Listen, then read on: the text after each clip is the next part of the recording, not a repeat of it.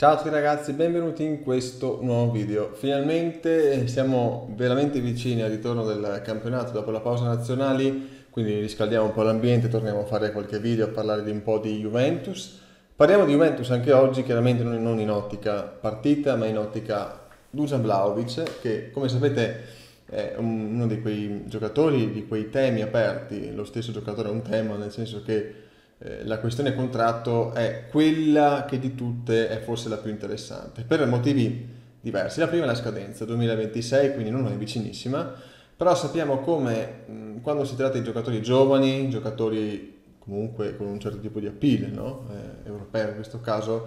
le scadenze di sotto i due anni sono molto rischiose perché si facilmente arriva alla, alla fine della stagione con un solo anno di scadenza per poi spesso replicare quelle che sono le questioni tipo legate a Chiesa, no? hai un rinnovo particolare con condizioni particolari, manca un anno, piuttosto che perderlo a zero lo perdo a pochi soldi, magari facendo anche delle minusvalenze e quant'altro. Quindi Vlaovic di fatto, come tanti altri giocatori che si ritrovano in questo, in questo momento, in questa situazione, possono essere un rischio. Quindi è chiaro che la Juventus in questa stagione, non dico mh, mm, da qui a gennaio per dire a metà stagione, ma nella stagione in corso dovrà per forza trovare un accordo con Vlaovic perché se così non fosse è chiaro che sarebbe molto rischioso arrivare in estate con un Vlaovic con un anno di contratto ancora con tutto ciò che, che sappiamo per esperienza no? quindi questa è la prima questione la, la vicinanza secondo me temporale del, del tutto L'altra questione importante sono le cifre ed è qui la cifra di fatto che diventa anche una complicanza a sua volta perché è chiaro che il giocatore può anche a prescindere dalle cifre decidere di andare altrove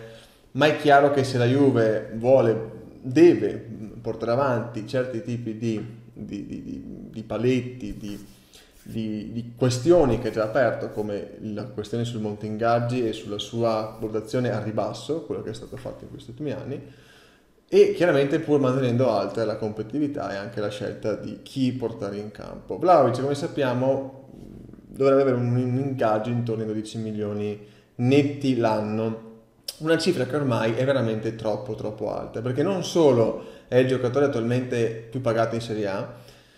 e quindi anche della Juventus, ma veramente una differenza evidente con tutti gli altri suoi compagni, di diversi milioni di euro, perché come sappiamo la Juventus ha dato via i giocatori che prendono tanto, Scesni, Rabiot ad esempio, ha quella questione di Arthur ancora aperta e penso che Arthur sia il secondo giocatore che prende di più dopo Vlaovic, ma sappiamo che è un esubero, per il resto tutti sono giocatori che prendono 5, 6 milioni massimo, con una buona fascia di giocatori che prende il 2, 3, 4 milioni, quindi quella fascia di mezzo che ci va benissimo. Quindi Vlaovic ha sicuramente un ingaggio molto alto. Ingaggio molto alto per due motivi, secondo me. Il primo è quello chiaramente legato al confronto con i suoi compagni di squadra. L'altro è l'ingaggio molto alto per quello che poi fondamentalmente sta facendo, per quello che è Vlaovic adesso Vlaovic è sicuramente un giocatore con enorme potenziale ancora da esprimere, è un giocatore forte, ma che come sempre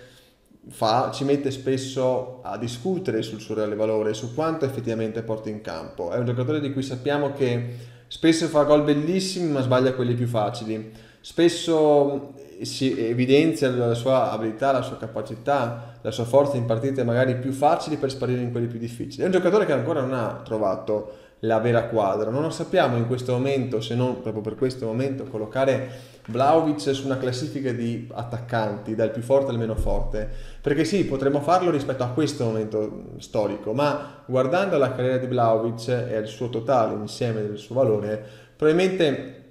siamo molto confusi da quello che è stato il suo percorso, tenendo conto anche che Vlaovic, a differenza di altri giocatori di livello, non ha un'esperienza europea tale per cui si possa veramente dire di Vlaovic, ok, questo è un grande attaccante. Certo, in Serie A ha dimostrato di esserlo, con anche dei bassi, non solo degli alti, in Europa un po' meno. E appunto per questo questa stagione sarà molto importante, questa stagione che quindi si accompagna alla tematica rinnovo e penso che poi il tutto verrà fatto poco a poco per questo. Quindi è chiaro che da questo punto di vista la Juventus ha diverse come dire, motivazioni per rinnovare a ribasso, tra quelle più oggettive no? e quelle più soggettive come il valore di per sé che sta esprimendo Vlaovic. D'altra parte Vlaovic dovrà scegliere, è chiaro che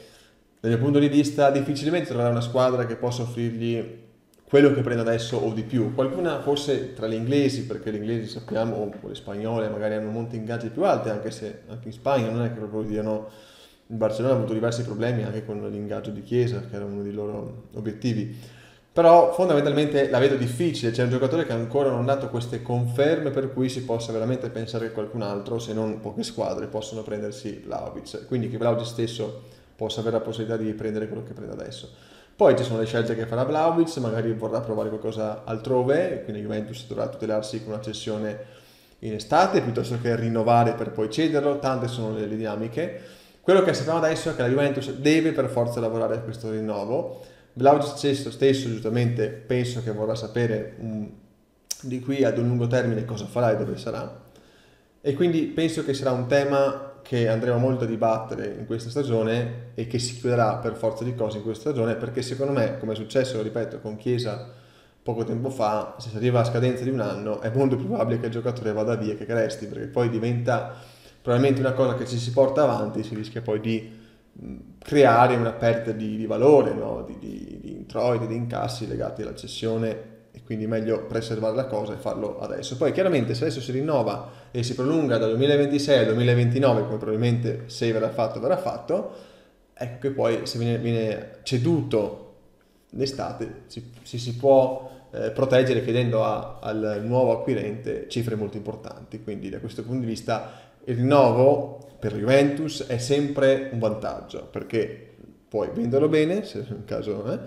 e soprattutto abbassare il monte ingaggio ulteriormente, che è già molto abbassato, ha fatto giunto di un lavoro pazzesco e mancano due cose da fare, anche per eventualmente dare un po' di spazio per un mercato invernale di riparazione rispetto a qualcosa che manca.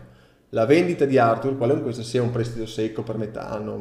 un regalo insieme ai pacchi di Natale, quello che è, risparmiare lì e un piccolo ritocco all'ingaggio di, di Vlaovic che porterebbe veramente a benefici a bilancio perché chiaramente il carico residuo del suo valore a bilancio andrebbe spalmato ulteriormente per più anni, quindi c'è anche un effetto importante sull'ammortamento. Se dovessimo portare a casa queste due cose, da qui a fine anno, inizio anno, 25, secondo me la Juventus ha veramente fatto un lavoro da 10 quasi, cioè se mettiamo insieme i due mercati estivi e invernale, e allora lì potremo veramente spazio per avere qualcosina anche secondo me in inverno, perché da quanto risulta, no, quello che si è letto, c'era l'idea di portare qualcosina no, a casa, ma secondo me siamo stati bloccati dalle cessioni di costi, sono arrivate troppo tardi e quella di Arthur non è ancora arrivata. Quindi secondo me se la stagione va bene, facciamo le cose fatte bene, eccetera, eccetera, ci, sono, ci sarà da divertirsi anche nei prossimi anni, secondo me dal punto di vista del mercato. Vedremo, intanto testiamo la rosa e testiamo lo stesso Vlaovic che è parte integrante e fondamentale di questo video. Aspetto qui sotto i vostri commenti, come sempre forza Juve e alla prossima.